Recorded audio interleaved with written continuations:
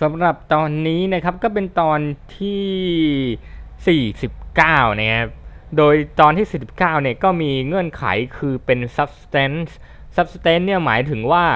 เราจะไม่ได้ละเอาอะไรไปเลยนะครับ จะเป็นภารกิจไปตัวเปล่า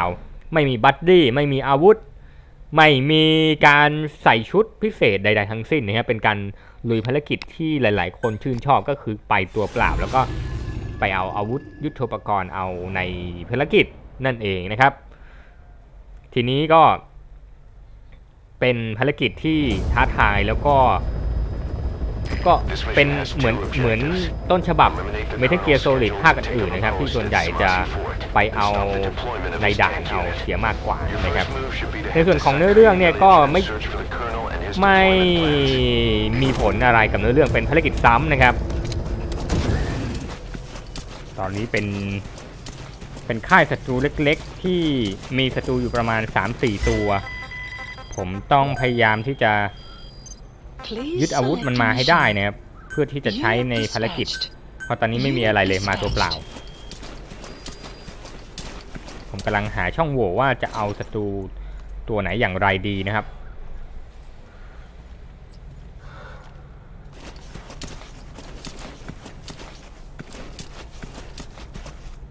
สิ่งเดียวที่เรามีตอนนี้คือคลื่นโซน่านะครับ สิ่งเดียวที่พอจะเป็นประโยชน์ได้บ้าง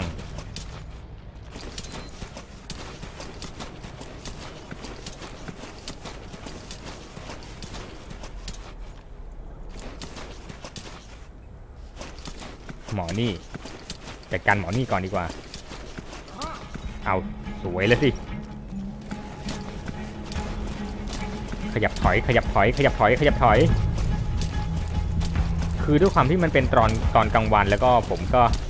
ออกไปแบบเด่นชัดเหลือเกินศัตรูก็สงสัยง่ายเป็นธรรมดานะครับ แล้วไหนจะชุดที่เปื้อนเลือดอีก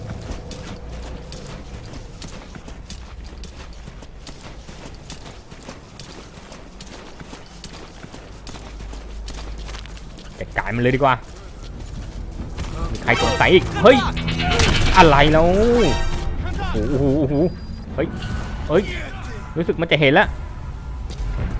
เดี๋ยวเดี๋ยวยึดอาวุธก่อน เดี๋ยวเดี๋ยวเดี๋ยวเดี๋ยวเดี๋ยวไม่ได้ใส่อาวุธ อยากให้บูใช่ไหม อยากให้บู อยากให้บูใช่ไหม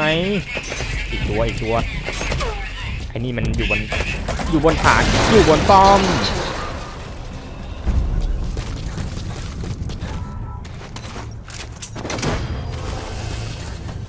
พากลับฐานให้หมด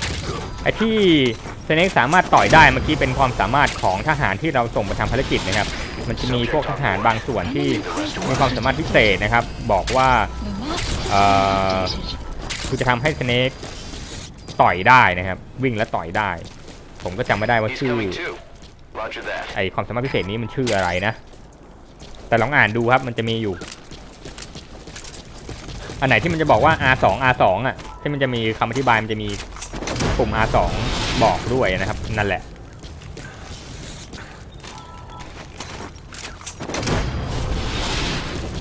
เอากลับไปให้หมด นี่ยังไม่ถึงตัวภารกิจจริง ๆ เลยนะฮะเนี่ย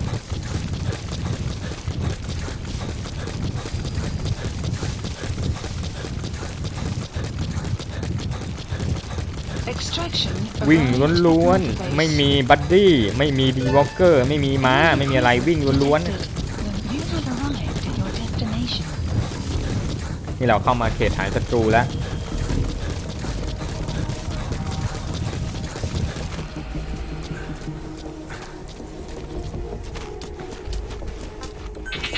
ใช้ขึ้นโซน่า เช็คซิว่ามีศัตรูกี่ตัว มีมุมขวาตัวหนึ่งนะฮะ ต้องใช้วิธีดั้งเดิมก็คือการมาร์กจุด ดูตำแหน่งของศัตรูเอาไว้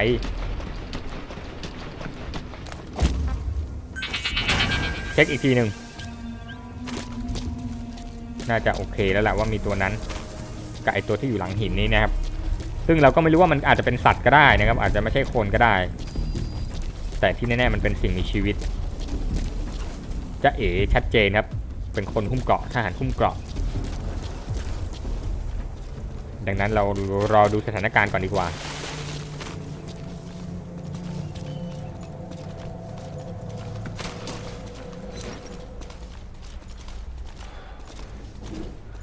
ไอตัวหุ้มเกราะมันตามไปด้วยครับ อย่างนี้เราต้องเข้าประจันบานเลยดีกว่าฮะอะไร เรียบร้อย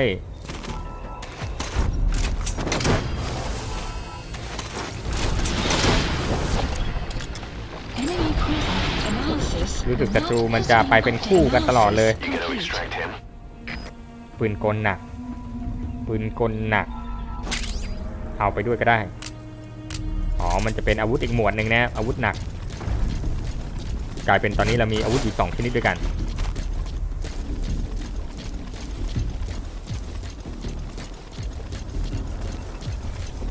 ภารกิจนี้คือเราต้องไปจัดการกับตัวผู้นำของ วกทหารนะครับ Boss, get down. The enemy สไนเป sniper. อร์นี่หว่า Stay low and crawl along the ground. That should enable you to sneak past เรา enemies. ยังทำอะไรไม่ได้นะครับ ต้องหมอบหลบไว้ก่อน เดี๋ยวขอหมายหัวมันไว้ก่อน Analysis Okay. complete. หมายหัวไว้ มันยังไม่เห็นเรานะครับ มันแค่สงสัยว่าอะไรแวบๆเท่านั้นเอง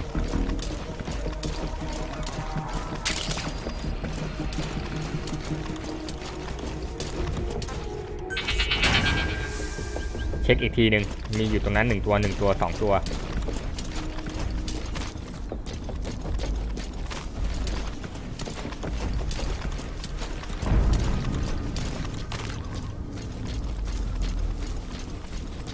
ไปจัดการกับไอตัวข้างบนนี้ก่อน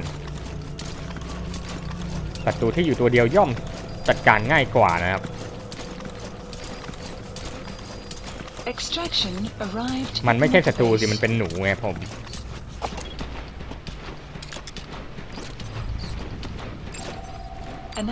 นั่นมีอีกหนึ่ง complete. คู่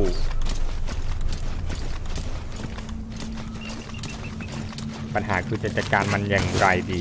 มันไปเป็นคู่คู่ หลายตัวเหลือเกิน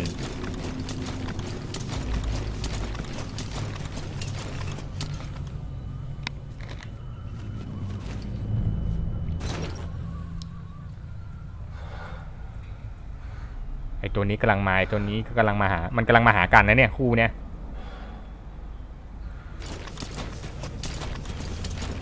มันมาบรรจบกันไหมไม่ใช่สองคู่ทางขวามันกำลังมาหาทางเราครับผมรอดักจากข้างบนเลยดีกว่า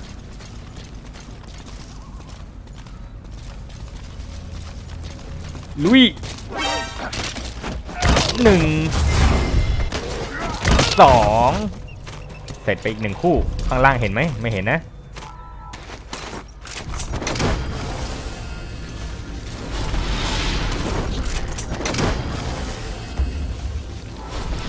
เอา rocket ไปฮะ ถ้าผมจำไม่ผิดคือภารกิจนี้มันต้องใช้ rocket ในการทำลายรถถังนะครับ คือไม่ใช่รถถังดิ มันจะเป็นขบวนรถถังแล้วมีรถบรรทุกแล้วก็เป็นรถหุ้มเกราะอะไรเงี้ยฮะ แต่ผมจำได้ว่าครั้งที่แล้วในส่วนของการทำภารกิจนี้ครั้งแรกเนี่ย ผมใช้ C4 นะครับ แล้วก็ระเบิดต่างๆในการสู้นะครับ แต่ว่าในภารกิจนี้ เราไม่ได้พกมาที่สิปัญหา ไอ้กล่องเล็กๆนี่มันบอกว่าที่เก็บเสียงไม่ตรงกับปืนนะครับ เราเอาปืนมาผิดประเภทนั่นเองปกติถ้าเป็นปืนที่มีที่เก็บเสียงมันก็จะเติมให้นะครับไอ้กล่องเมื่อกี้ suspension ใช่ปะ suspensor เออแปลว่าที่เก็บเสียงนะครับ suppressor เช็คอีกที เราอยู่กลางฐานศัตรูแล้วไม่แน่ใจว่าจะมีศัตรูอยู่มากน้อยแค่ไหนที่แน่ๆต้องไปจัดการเจ้า sniper นี้ให้ได้ก่อนนะครับ เดี๋ยวเดี๋ยวไอ้สองตัวนี้มันเอาไงกับมันเนี่ยถ้าไม่จัดการไอ้สไนเปอร์นี้ก็เราก็จะทำงานลำบากนะฮะ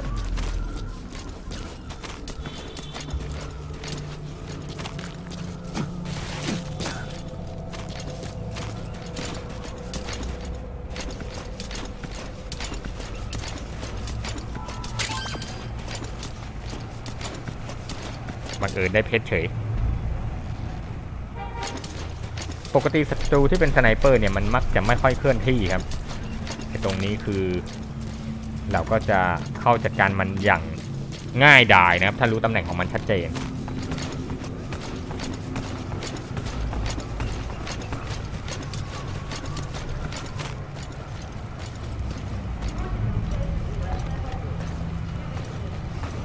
ค่อยๆเข้าไปครับ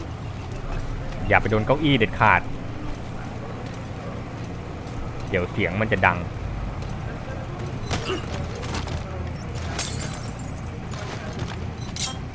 ถามมันหน่อยดิ มันบอกว่าห้องบังคับการอยู่ตรงนี้นะครับ เรียบร้อย เสร็จแล้วก็พามันกลับฐาน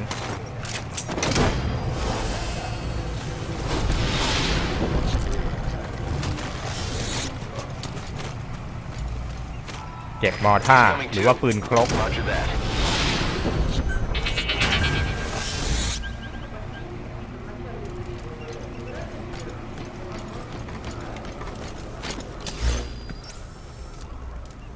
อยู่แถวๆนี้แหละห้องบังคับการของมันนะครับ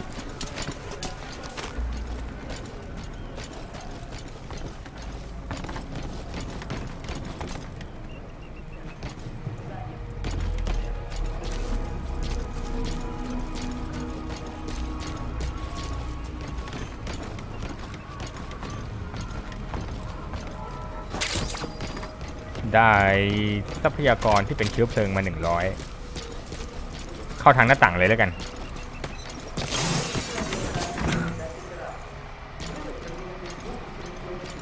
ในห้องนี้ก็ไม่มีอะไรนะครับ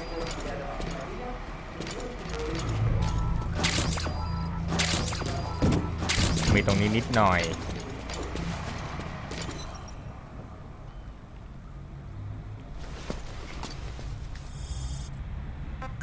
ข้ามไปเลยแล้วกันนะครับตรงนี้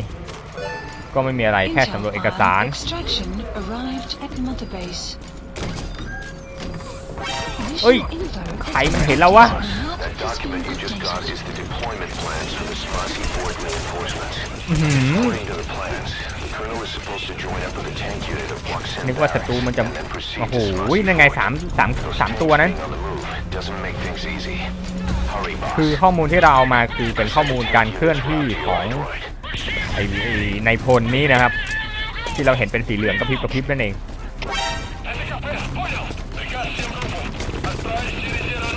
ลงไปจัดการมันเลยแล้วกัน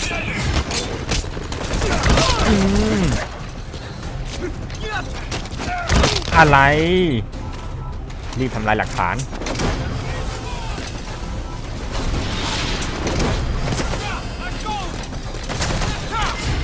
อะไรอะไร You gotta extract him. วิ่งไปวิ่งไปวิ่งไปวิ่งไป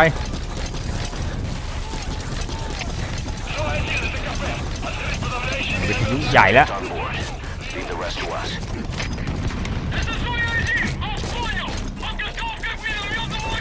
เราไม่สนใจนะเพราะว่าภารกิจเราคือต้องทำลายรถถังพวกนี้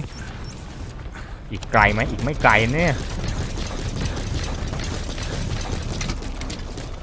ดักยิงแถวนี้เลยแล้วกันนะไม่รู้ว่าอันนี้มันเป็นรถถังไอเป็นมิสไซล์ตามล่าหรือเปล่า ดูแล้วมันก็บอกว่าตามล่าอยู่นะ แต่ก็เหมือนจะตามล่าไม่ค่อยดีนักนะครับ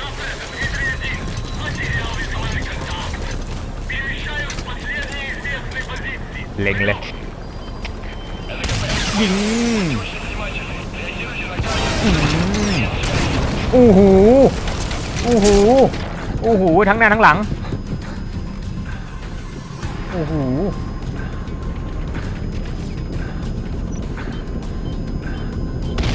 ยิงอื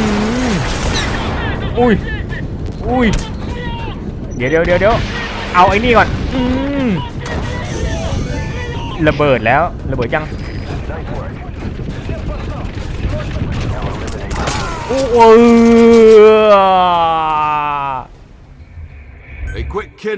ถือว่าอันนี้ลองเชิงกันแล้วกันนะครับ พอมาทำภารกิจอย่างนี้แล้วเป็นไงอะนึกถึงอาวุธยุทโธปกรณ์ที่ปกติเราเอามาได้นะครับซีฟงซีโฟคือ ตอนเราเอามาได้ก็ไม่ค่อยเห็นค่าพวกนั้นหรอก ทีอย่างเงี้ยพอมาเล่นภารกิจอย่างเงี้ยจะเห็นค่าขึ้นมาทันทีเลยครับ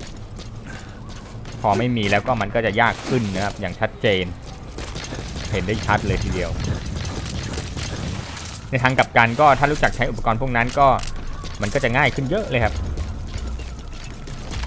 อันนี้โชคดีที่ครั้งนี้ศัตรูมันก็จะกลับกลายเป็นไม่เห็นเราละ หลังจากที่โหลดเซฟขึ้นมานะครับ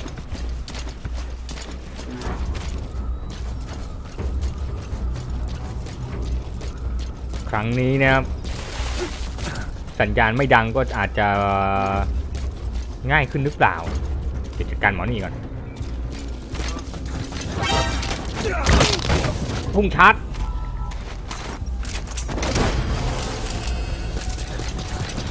ดูกลหนักยังไงก็ต้องใช้ล็อกเก็ตแหละหกนัด แต่ว่าปัญหาคือล็อกเก็ตมันไม่แรงขนาดที่ว่านัดเดียวระเบิดเนี่ยมันต้องยิงหลายนัดมากนะฮะ Analysis complete. นี่ก็เป็นตัวปัญหาอีกตัวหนึ่ง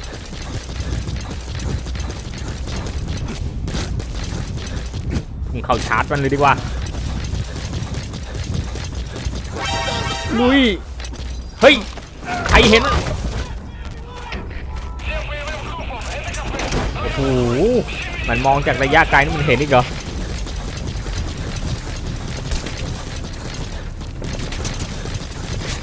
ไม่สนเนี่ยเราไปลุยกับพวกรถถังดีกว่า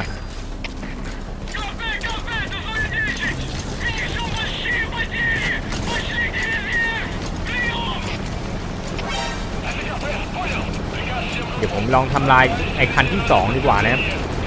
ว่าทำลายเฉพาะคันที่สองก็อาจจะผ่านแล้วหรือเปล่า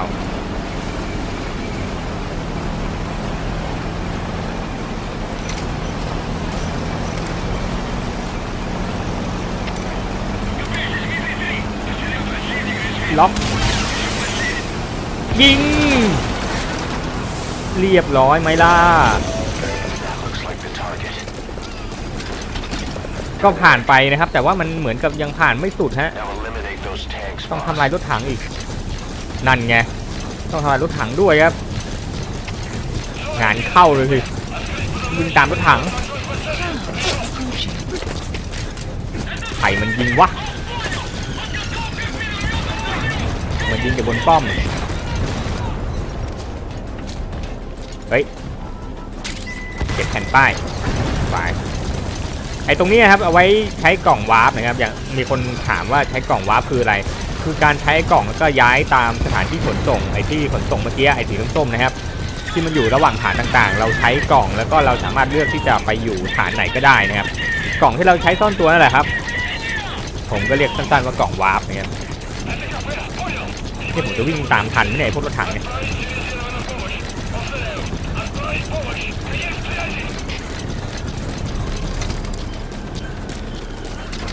เฮ้ย จะไปไหน โอ้โหย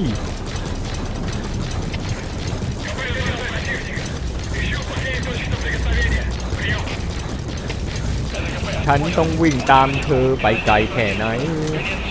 มีพวกทหารวิ่งออกมาอีกต่างหากอยู่นี่ อะไร ระเบิดระเบิดไหมล่ะ ใครมันยิงนักหนาเนี่ย โอ้โดนรถถังยิง Boss, what โอ้ happened? โดนรถถังยิง Boss! มันไม่ง่ายอย่างที่คิดเลยฮะ ผมว่า I've sent the tank units route to your iDroid. ผมเปลี่ยนแผนดีกว่านะ วิ่งเข้าไป ดีหน่อยอันนี้มันเริ่มไกลนะครับเอ้ยเริ่มเริ่มใกล้กับรถถังเลย ไม่ต้องไปทำลายไอ้รถคันที่สองแล้วนะครับ ผมจะใช้แผนอะไรเดี๋ยวท่านผู้ชมคอยดูฮะเพราะยังไงกระสุนก็มีน้อยเหลือเกินครับ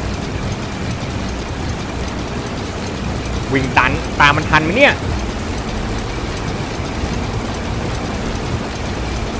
อีกนิดเดียวอีกนิดเดียวอีกนิดเดียวอีกนิดเดียว มันยังไม่เห็นเรา มันยังไม่เห็นเรา ติดบอลลูนไม่ทันเว้ย เอางี้ยิงคันหน้าแล้วมันต้องหยุด ยิงคันหน้าเนี่ยมันต้องหยุดมันต้องหยุดเสร็จติดบอลลูนคันนี้คันนี้คันนี้คันนี้อีกคันหนึง Enemy cruiser detected. Target extraction confirmed. Marking ฮ่าฮ่าเรียบร้อย One tank left. ผ่านหรือยัง Mission info has been updated. Good. You completed the objective. ผ่านแล้ว ต่อไปก็ออกจากไปจากที่นี่ ทางอากาศหรือว่าทางภาคพื้นดินก็ได้ Please ดู select สิ a ว่า landing zone. เอาตรงนี้แล้วกัน Support helicopter requested. ตรงนั้นแนะคือถ้าใช้วิธีทำลายรถถังผมว่ายังไงก็ไม่ผ่านนะอืมเพราะว่าคือต้องใช้มอร์ท่าร์ต้องใช้ปืนโค้กปืนอะไรบ้างนะครับ ใช้ไอ้ล็อกเก็ตอย่างเดียวกระสุนไม่พอนะครับเพราะเฉลี่ยแล้วรถคันหนึ่งประมาณ 2-3 นัด แค่รถถังสองคันก็ไม่พอแล้วครับใช้แผนเนี่ยเวิร์กสุด แผนยึดรถถังกลับบ้านเนี่ยสำหรับตอนนี้ก็คงจะมีเท่านี้นะครับดูแล้วไม่น่าจะมีอะไรในส่วนของเนื้อเรื่องก็ไม่มีอะไรเนี่ย